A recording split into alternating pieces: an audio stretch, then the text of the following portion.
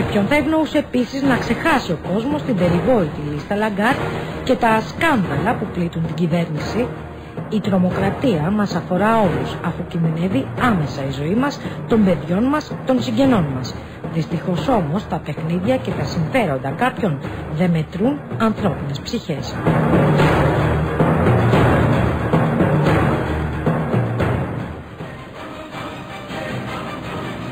Κύριε Μοιρά. Λοιπόν, το σχόλιο μου για όλα αυτά που δείξατε σχετικά με τις επιθέσεις που έγιναν προς τους πολιτικούς και στα γραφεία της Νέας Δημοκρατίας. Ε, το πρώτο ζήτημα, όλες αυτές οι ανοησίε που ακούστηκαν για οργανωμένο έγκλημα, για πληρωμένους δολοφόνους από τον συνάδελφό σας, ε, ε, προφανώς δεν ανταποκρίνονται στην πραγματικότητα για έναν απλούστατο λόγο. Ε, Εντάξει, μπορεί να έχουν κάποια βάση. Συνάδελφος αυτοί που τι κάνουν δηλώνουν την ταυτότητά τους και είναι γνωστοί ποιοι τις κάνουν και, και τα ανεβάζουν και στο διαδίκτυο αυτά που, αυτά που θέλουν να κάνουν και γιατί τα κάνουν. Για μένα το τραγικό, κύριε Χίε, είναι γιατί και η άλλη πλευρά δεν τα κάνει. Δηλαδή, γιατί μέχρι στιγμής ε, αυτός ο αγώνας περιορίζεται μόνο ε, είτε στο κομμάτι των αναρχικών είτε σε κάποια κομμάτια της αριστεράς. Εδώ πρέπει να γίνει μια παλαϊκή εξέγερση, διότι απλούστατα κινδυνεύει το ίδιο το έθνο. Πώς θα γίνει η παλαϊκή εξέγερση, κύριε Θα γίνει, κύριε, αν σταματήσουν κάποιοι να ταυτίζονται με το καθεστώς του κυρίου Σαμαρά, με το κατοχικό καθεστώς. Θα ήθελα να πω το εξής. Ότι όλα, όλα τα αντιμετωπίζουν. ολοκληρώσω. Θα τα πω. Ναι, εγώ, εγώ ξέρετε τις απόψεις μου, δεν τις έχω αλλάξει.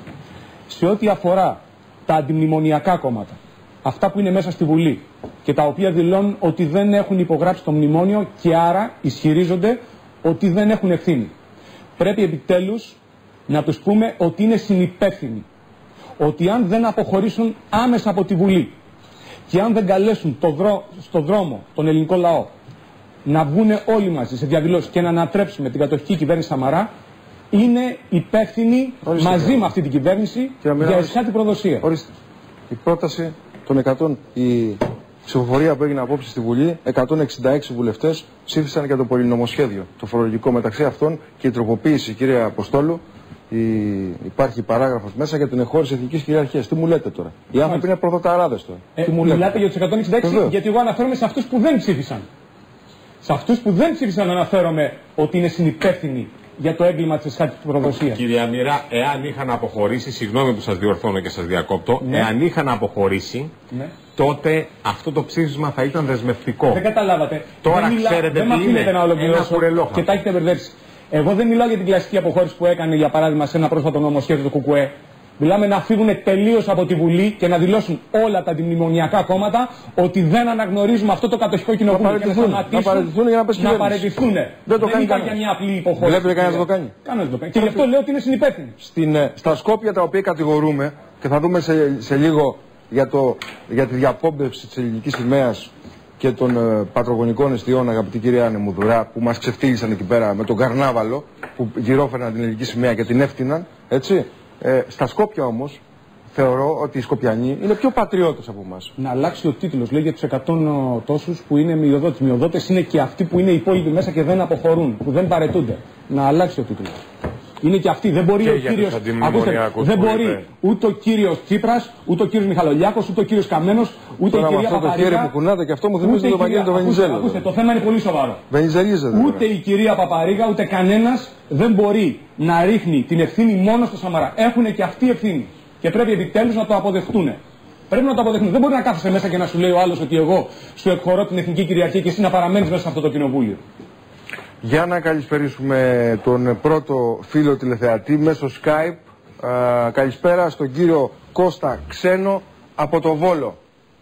Καλησπέρα σας. Ευχαριστούμε για την παρουσία σας. Θέλω να πω ότι κάνετε ποδαρικό απόψε σε μια ενότητα που θέλουμε να την καθιερώσουμε, να βλέπουμε στα μάτια τον κόσμο και ο κόσμος να μπορεί να μιλάει όχι πια ανώνυμα, να μπορεί να δίνει το στίγμα του, να φαίνεται στην τηλεόραση, να λέει την άποψή του. Ο πολίτης είναι πάντα επώνυμος. Δεν υπάρχει πια ανωνυμία. Τελείωσε η ανωνυμία. Κύριε Ξένο, πώς σας φαίνονται όλα αυτά, πώς τα σχολιάζετε και τι ακριβώς συμβαίνει στον ε, Έλληνα πολίτη σε αυτές τις ώρες, ώρες όχι περισυλλογή πια, αλλά ώρες ethnoexέγερση. Συμφωνώ με τον κύριο Αμυρά, αλλά θα διαφωνήσω μαζί του στην πρακτική. Και η πρακτική δεν είναι παίρνουμε. Βεβαίως υπάρχουν. Μελουκουμένε. Αυτό που έγινε πριν από δύο χρόνια. Καταρχήν και το αίμα δεν μπορεί να, να δώσει λύση σε τέτοια Φοβόμαστε να υπερασπιστούμε το λαό και την πατρίδα. Πόσες φορές Να ακούσουμε τον κύριο Ξένο που τον έχουμε καλεσμένο τον άνθρωπο και δεν έχει δυνατότητα. Κύριε Ξένο, πώς σας φαίνονται όλα αυτά. Καταρχήν είμαι κατά της βίας. Τη κατοχική ή της επαναστατικής. Της ένοπλη βία που έγινε αυτή τη στιγμή. Απ' την άλλη, να ρωτήσω κάτι θέλω. Ε, από τα δημοσιεύματα που ακούγονται κατά καιρούς, όπως και τώρα τελευταία συνέχεια, ως προς τον Καραμαλή που έγινε μια απειλή και έπεσε η κυβέρνηση τότε, αν ψηλοισχύει αυτό ή όχι καταρχήν; Ή θάβεται ή κάπου βγαίνει, κάπου δεν βγαίνει. Αν έγινε, λέω, αν έγινε αυτό, δεν είναι η ίδια τρομοκρατία.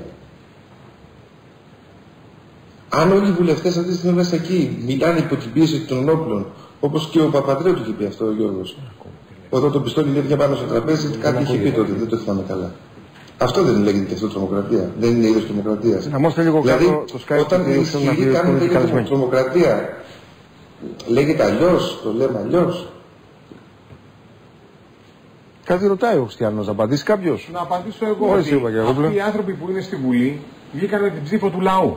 Εάν ο λαός, γιατί εντάξει θα πούμε ότι η δημοκρατία μπορεί να έχει στρεβλώσεις επειδή τα μεγάλα κανάλια, οι εφημερίδες υπηρετούν συμφέροντα, μα δεν γεννηθήκαμε χθες. Όλοι γνωρίζουμε ότι κάθε ιδιωτική επιχείρηση υπηρετεί τα συμφέροντα του ιδιοκτήτη. Δεν είναι φιλανθρωπικά ιδρύματα. Η ευθύνη είναι του λαού εάν έχει παράπονο με τις εκλογικές του επιλογές. Δεν μπορεί όμως κανένας να πιάνει καλάσδικο και να βαράει στο γάμο του Καραγκιόζη. Είναι πολύ αυτά τα πράγματα. Είπα εξ αρχής, λέω, είμαι κατά... Ο κύριος Σαμαράς επιτρέπεται και επιβάλλεται να υπερασπιστεί την πατρίδα μετά όπλα. δεν είναι ο νόμος της. Στο άλλο. να εφαρμόσουν Απάντηση. την Ένα λεπτό, κύριε. Άλλο είπε. Ένα λεπτό, κύριε. Ο άνθρωπος θέλει να ολοκληρώσει. Έχουμε έναν άνθρωπο που ακούει από το τηλέφωνο και φαίνεται από το Skype. Κάτι Να- ρώτησε και δεν πήρα Άλλο απάντηση. είπα. Θέλετε κύριε Δεν Αποστολή, μιλάω κατά κύριε δημοκρατικά. Ξένο, θέλετε να σας Έδωσα ένα απαντήσουμε. παράδειγμα. Κύριε Ξένο, θέλετε να σας απαντήσουμε; Ας ακούσουμε. κύριος Ξένος, από Ορίστε, ό,τι κύριε Αποστολή, κατάλαβα- σύντομα από όμως. ό,τι σύντομα. κατάλαβα, κύριε Ξένο, Ρωτάει ο λαός και πρέπει να το απαντήσουμε. Ο είπατε λαός είναι ότι εκεί, στο Skype. Οι ενέργειες Βγαίνει, του φιλοτιμή, κυρίου δεν Παπανδρέου, κρύβεται. του κυρίου Καραμαλή, αν είναι τρομοκρατία. Αυτό δεν ρωτήσατε. Ναι. Και σας απαντώ ευθέως και βέβαια. Διότι είναι συνειδητή προδοσία. Τρομοκρατία κατά του ελληνικού λαού. Διότι όταν ανέλαβε ο κύριος Παπανδρέου, και εδώ είμαι με... Αν τρομοκρατείτε ο ίδιος ρώτησε ο τηλεθεατής. Ο κύριος Ξένος. Όχι, οι ενέργειες των δύο αυτών προ- πρώην πρωθυπουργών τρομοκράτησαν τον ελληνικό λαό. Κύριε Αποστόλη, Από άλλο το λαό, ρώτησε. όχι, Ρώτησε. εγώ εξέλαβα ότι Ρώτησε. αυτό είπε. Άλλο Ρώτησε. ρώτησα, Οι δεν δανειστές μπορούν να τρομοκρατήσουν ακόμα και έναν πρωθυπουργό όπως ήταν τότε ο Καραμαλής. Ε, αυτό δεν ρωτήσατε κύριε Ξένο. Ναι, ναι, ναι, αυτό λέω. Και απαντήστε. Όχι, δεν μπορούν να το τρομοκρατήσουν κύριε Ξένο γιατί κάθονται στο ίδιο τραπέζι και τα βρίσκουν μεταξύ τους σαν εταίροι.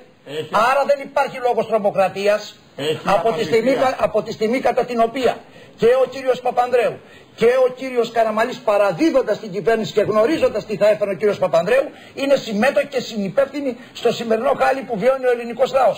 Άρα πάντα, γιατί έχουμε δεν καλεσμένο, τρομοκρατήθηκαν από είναι- κανέναν, Το λέω- το λέω όλο απλά αυτό. έκαναν Είναι ως ένα εταίροι και και τα δεν λέει. συμφώνησαν πολύ ωραία όπως τα συμφωνεί ο κύριος απαντήστε, Σαμαράς κύριε σήμερα, Βαγγέλη, εγώ ο πρέπει να κύριος απαντήσω. Παπαδήμος χθες και ο κύριος Παπανδρέου προχθές. Αλλά δεν μπορούμε να λέμε ότι παρέδωσε ο Καραμαλής στην εξουσία αυτό το χειροπεγμένο παραμύθι όταν τον εκβίαζαν με μη ψήφιση του Προέδρου της Δημοκρατίας. Αντισυνταγματική ενέργεια, αλλά τότε όλα τα κανάλια και οι εφημερίδε. Αγαπητέ Αντρέα, κατήγγειλε ο Πρωθυπουργό τη χώρα. Κατήγγειλε ο Πρωθυπουργό τη χώρα αυτό το πράγμα. Βγήκε να το καταγγείλει. Ο Πρωθυπουργό τη χώρα δεν μπορεί να βγει σε ένα λαό που δεν καταλαβαίνει και βγάζει τον Γιώργο Σοβαρά. Παπαδρέου με 11 μονάδε διαφορά. Ένα λαό που ψήφισε με γνώμονα το λεφτά υπάρχουν. Ε, δεν μπορεί, συγγνώμη, να βγει και να καταγγείλει. Όχι, δεν συμφωνώ μαζί σου. Αντρέα. Όχι. Ο, ο εκλεγμένο Ένας- πρωθυπουργό τη χώρα, εάν εκβιάζεται, οφείλει, οφείλει και το τομάρι του να θυσιάσει για την αλήθεια και για το λαό του. Μάλιστα. Άρα λοιπόν δεν έπρεπε να κάνει το στρίβιν δια του αραβόνος, Μάλιστα. Κύριε απλά Ξένο. να καταγγείλει τους εκβιαστές. Άλλο ερώτημα. Άλλο... Κύριε, Κύριε, να τελειώσει ο άνθρωπος. Άλλο ερώτημα κύριε Ξένο. Ε, προς το παρόν όχι, θα μιλήσει κάποιος άλλος. Κα, καλώς. Ευχαριστούμε θερμός τον κύριο Ξένο στο Βόλο. Θα προχωρήσουμε στα Skype, θα, βγάλουμε, θα βγάζουμε Skype ε, κάθε Δευτέρα και Πέμπτη από όλη την Ελλάδα και από όλο τον κόσμο. Μου λέει εδώ πέρα ένας φίλος από την Βαρσοβία, καλησπέρα, θέλουμε την άποψη των Ελλήνων ομογενών, των ανθρώπων να ξενιτευτούν, να φύγουν από την πατρίδα τους και να πάνε στο εξωτερικό να ζήσουν. Καλύτερα εκεί παιδιά, πιστέψτε με, καλύτερα εκεί τώρα. Θα πρέπει να επιστρέψετε όμως. Καλημέρα από Βαρσοβία. Το Skype και λοιπά λέει, βα- δεν ξέρω γιατί έχουμε τόσο μαμάκες πολιτικούς. Αν είχαν μυαλό, τότε σε αυτούς που θέλουν να μας αγοράσουν, σκέψουμε να πουλήσουν το πετρέλαιο που έχουμε για 2 δισεκατομμύρια και τότε δεν θα υπάρχει το πρόβλημα της φτώχειας της Ελλάδος που κάθε λίγο μας πουλάνε αυτό τον πρόλογο. Δεν ξέρω πόσο ακόμα θα λεγόμαστε Ελλάδα, όσο για την Ευρωπαϊκή Ένωση δεν μπορώ να καταλάβω πως οι χώρες που είναι σε αυτή πρέπει να έχουν τα ίδια δικαιώματα. Και όχι η Ελλάδα να έχει άλλους φόρους και η Γερμανία να έχει καλύτερη μεταχείριση. Αν λένε πως αυτοί έχουν βιομηχανία, εμείς έχουμε περισσότερο πλούτο από αυτούς. Ναι, αγαπητέ κύριε.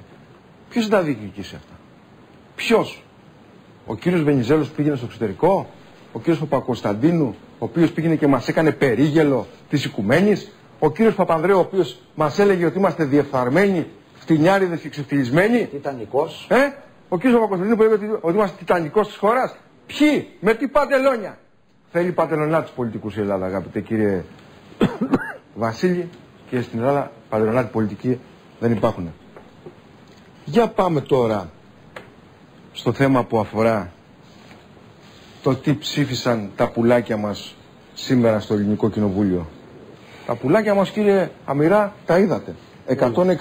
166 άτομα ψήφισαν την εκχώρηση της εθνικής κυριαρχίας. Διότι σε μια παράγραφο σε αυτό το περιβόητο πολυνομοσχέδιο αναφέρεται ότι ούτε το δικαιούχο κράτο, κράτο, κράτος μέλος, ούτε η Τράπεζα Ελλάδος, ούτε κανένα από τα αντίστοιχα περιουσιακά του στοιχεία εξαιρούνται λόγω εθνικής κυριαρχίας ή για άλλο λόγο της δικαιοδοσίας κατάσχεσης συντηρητικής ή αναγκαστικής εκτέλεσης σε σχέση με οποιοδήποτε ένδικο βοήθημα ή διαδικασία σχετικά με τη σύμβαση τη Τι λέει αυτός στα πλανητικά, κύριε Αποστόλη; Τι λέει; Λέει το εξής, αγαπητέ Στέφανε. Λέει το εξής. Μπα και ξεστραβωθεί κανένας και πάει στις κάλπες με άλλο πνεύμα που μας έχουν καταστρέψει; Η συνειδητή προδοσία ξεκίνησε από τον κύριο Προβόπουλο, διοικητή της Τραπέζης Ελλάδος, όταν συγκάλεσε και άλλαξε το άρθρο 14, το οποίο καθόριζε ότι δικαίωμα ψήφου στις συνελεύσεις της Τραπέζης της Ελλάδος είχαν οι έχοντες στην ελληνική υπηκότητα. Αυτό σημαίνει ότι το μετοχολόγιο το οποίο δεν είναι γνωστό, την πλειοψηφία αυτή τη στιγμή την έχουν οι ξένοι.